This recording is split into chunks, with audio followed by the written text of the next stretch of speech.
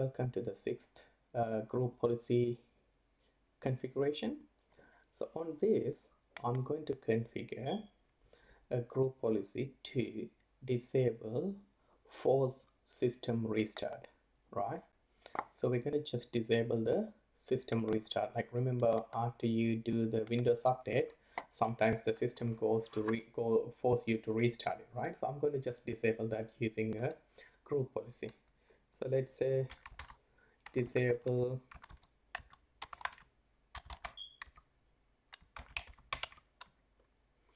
So restart.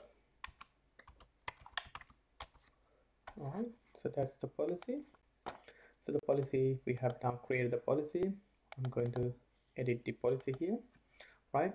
Once you create the policy as usual we are going to change the computer configuration settings under policies under this this is under administrative templates and then windows components right? Just make this big so we can see it properly. And let's go to windows updates right? This is all about updates one right? So on the windows updates let me check this one right? Expand that. We don't want that. All right that looks clear now right on the windows update now we can see no auto restart uh, policy right? Here we go. No auto restart. Uh, schedule users.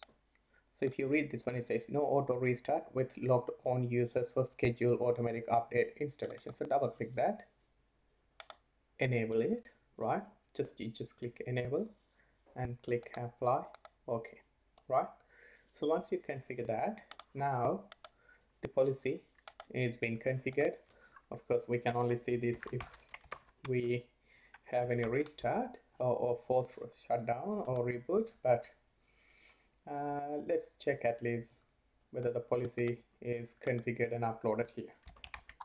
Right go there. Um, update force so I'm just updating the the newly configured group policy.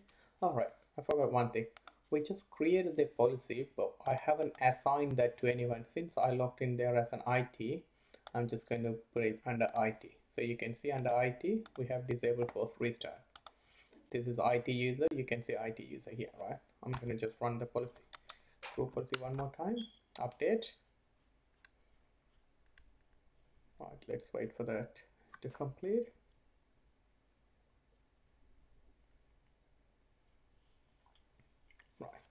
let's do a print.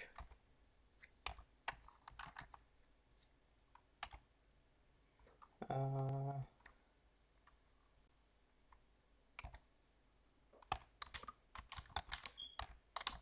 right. Wallpaper on the user settings but under system configuration uh, I can't see it here but definitely the following GPOs where this is all about users. It doesn't show anything about the um, the computer configuration policies. Right? But if I go and check update.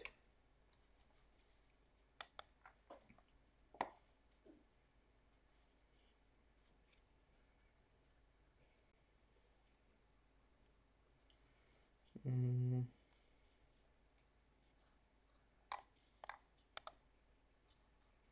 Some of these settings are managed by organization, right? You can see here, it tells you some of these are managed by the organization. So it's, it's because I have applied the policy on the update and I can see that now it says these policies are managed.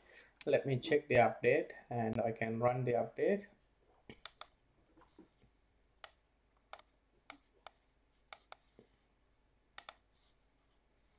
so let's let's wait for the update to finish and what happens let's see what happens after it's put it right so that's that's all about configuring a, a force restart or disable force restart policy.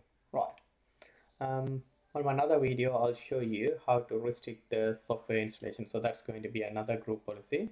So wait for that. I'll upload that video as well